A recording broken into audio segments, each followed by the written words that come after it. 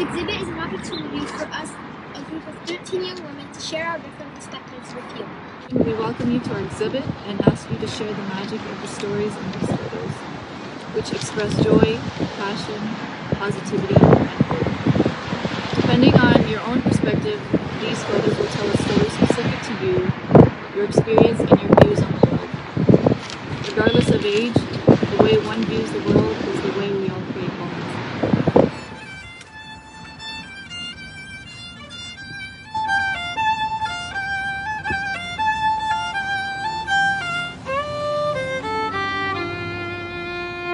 It is my pleasure to be part of the hosting team for today's launch of the photo exhibit Looks Like Us. Um, you know, our public spaces is where we gather, and uh, COVID has made that that much more important. We recognize that when we come out, we want to be safe, or we want to be together. So the sense of community is uh, is what we always long for.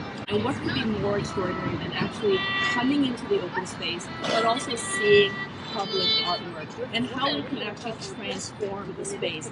The 27 photos in this exhibit documenting the human experience during this global pandemic were taken by female photographers from around the world, and the collection was curated by 13 young women from this neighborhood.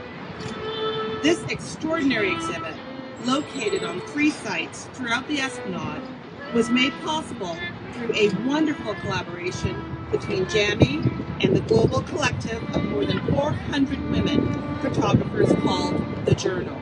Many of the participating photographers expressed how honored and grateful they were to have their photos chosen through such a process. I hope you can hear our collective thank you.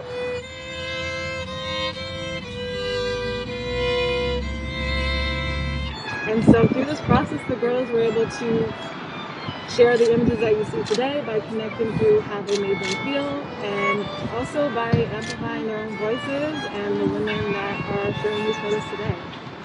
uh, the photo where uh, you know we see someone here who's you know in PPE but like emerging out of the water um, you know gives me hope that you know we're going to emerge out of uh, the pandemic that we're in and be able to leave um, you know that PPE hopefully behind someday when we're on the other side of this pandemic and break free of it uh, and I, I really love that so much.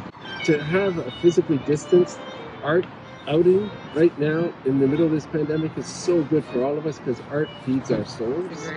And it's an opportunity for us to tell for people to tell their stories. And the stories that are not told often enough are the stories of women and young women you know. And so what you're doing here today is giving a voice to, to people that whose stories need to be heard more often